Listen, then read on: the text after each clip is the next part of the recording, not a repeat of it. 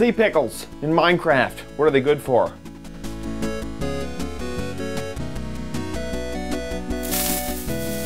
Hello, everybody. I'm Chad. Today's episode, we're going to take a deep dive into sea pickles and find out every single fact there is to know about some sea pickles. See you in a bit. So here we are inside of Minecraft, and we have found the sea pickles. Uh, it actually took me a little while of floating around trying to find a lukewarm ocean to actually find these guys natively and wi- in the wild. So these are sea pickles right here. You can see them on the ground. They come in uh, little packs, uh, basically. Uh, they call them colonies. So you can have a colony of uh, up to four pickles and as little as one pickle. If you have a colony of zero pickles, it's a pretty sad day. Uh, now, they don't only just spawn around the coral, but that is the easiest place to find them. If you're in a lukewarm ocean, they can just spawn just hanging out all by themselves. As you can see, they give off light. They give off a light level, which is pretty cool because it lights up the bottom of the ocean. Now, these, uh, you also have some interesting stuff when it comes to uh, these seaweed, or I guess kelp.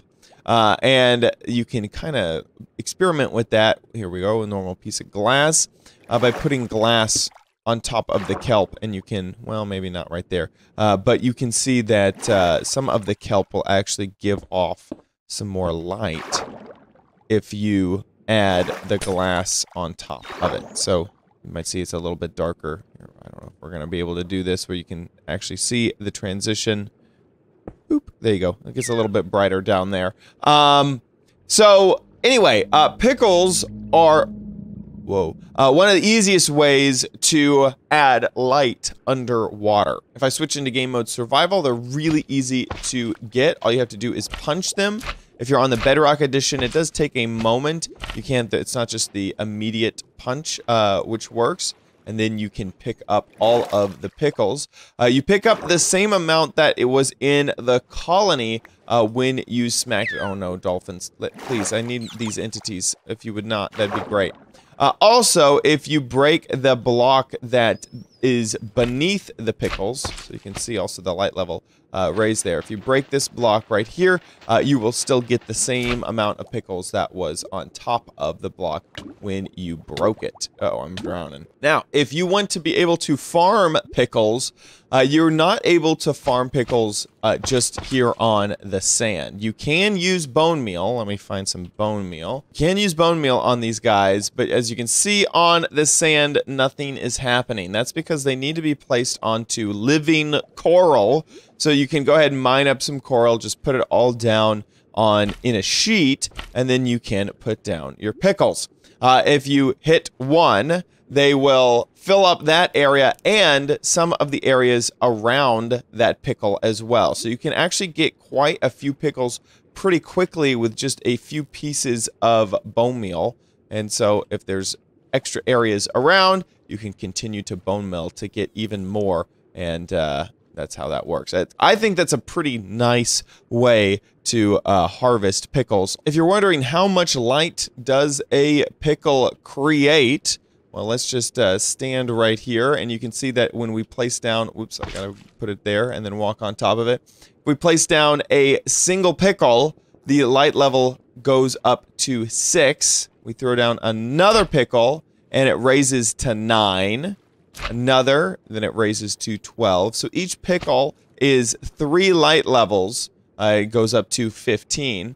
Uh, three light levels with a starting light level of six. So uh, 15 is the most you can have, which is pretty good. It's a pretty good light level. You can really see uh, how these would be the torches that you would have to use if you were underwater and wanted there to be light down here. But a few pickles can really add a ton of light underwater. I'm not even using night vision at the moment, and it's so easy to see under here. Sea pickles can be placed into a furnace and after they are smelted, they will give you an itty bitty bitty bitty bit of lime green dye. So they can be used to make a lime green dye.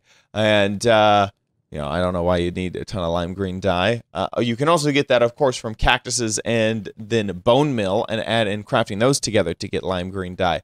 But if for some reason you need a lot of lime green dye and you happen to have a lot of sea pickles, that's the way you can get it. Sea pickles can be placed in the overworld. Uh, they just won't have that little plume that you see underwater. So you can kind of see there's that little white thing at the top and the ones that are placed out of water do not have that same little plume. Also, pickles placed on land will not generate light like the other pickles, so these won't generate any light but if you put some underwater, they will generate light. So you'll just, you could use them as decorations. Uh, they look almost like, uh, what, little itty bitty cactuses almost.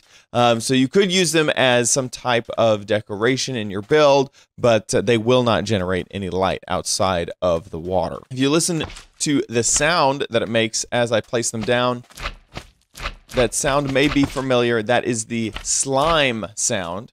And you also get that same slime sound when you walk on top of the sea pickles. So kind of interesting that they are reusing the slime sound and it just sounds just fine. Also, if you were wondering if you are in survival mode, no, you cannot eat pickles. I'm spamming right click right now.